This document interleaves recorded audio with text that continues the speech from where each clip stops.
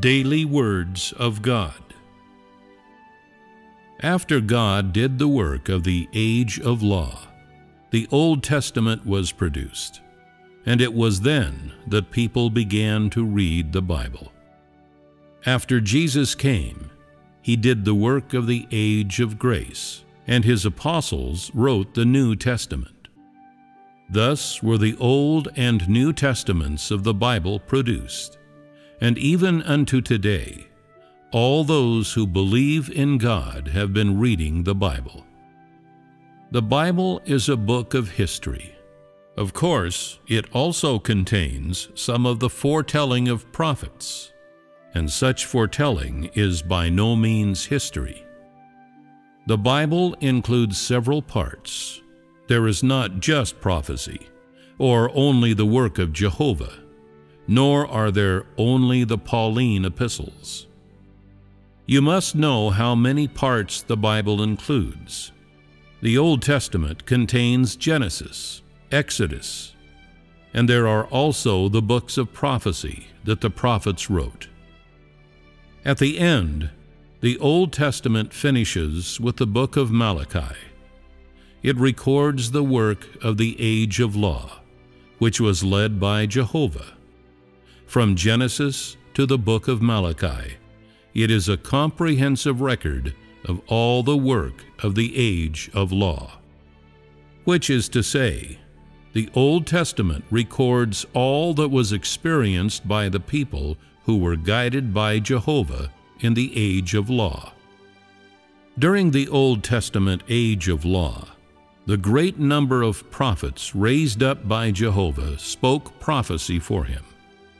They gave instructions to various tribes and nations, and foretold the work that Jehovah would do. These people who had been raised up had all been given the spirit of prophecy by Jehovah.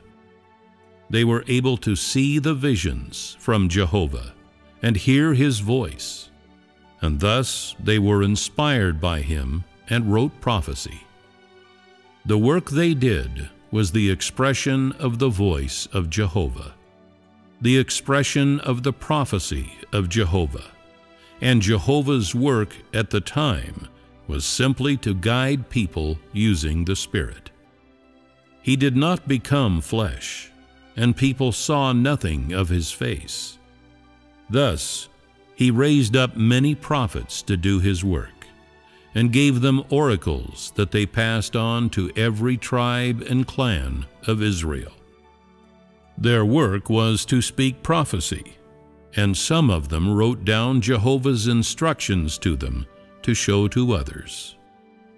Jehovah raised these people up to speak prophecy, to foretell the work of the future or the work still to be done during that time so that people could behold the wondrousness and wisdom of Jehovah.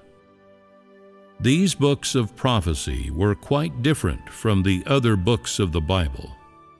They were words spoken or written by those who had been given the spirit of prophecy, by those who had gained the visions or voice from Jehovah.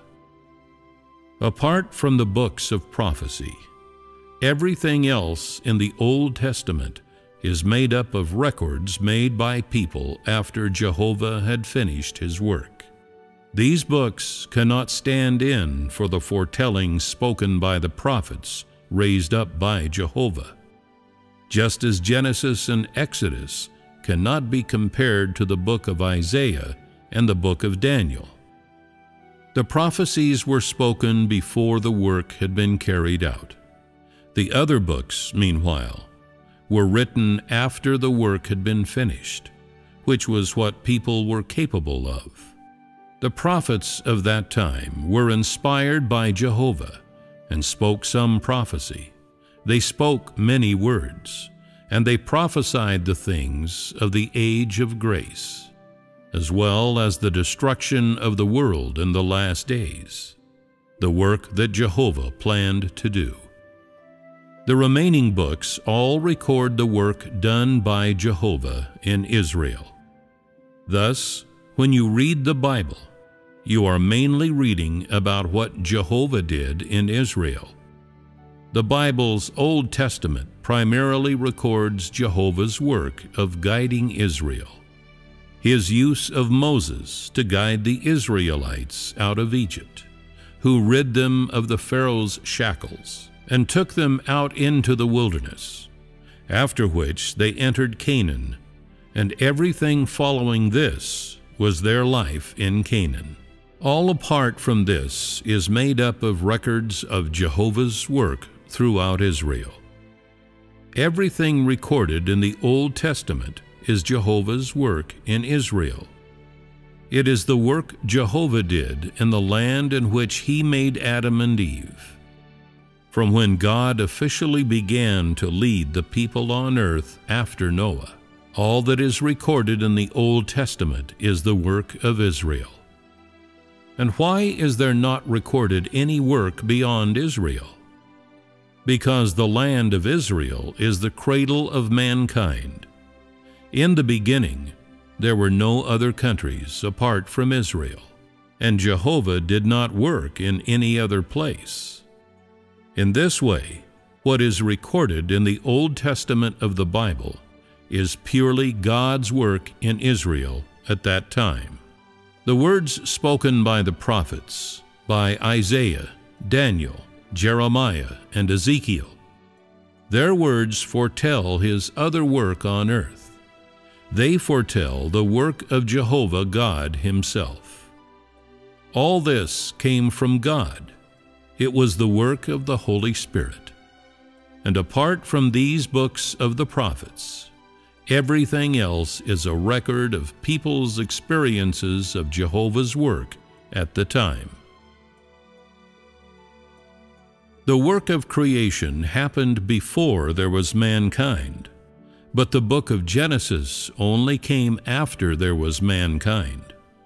It was a book written by Moses during the age of law. It is like the things that happen among you today.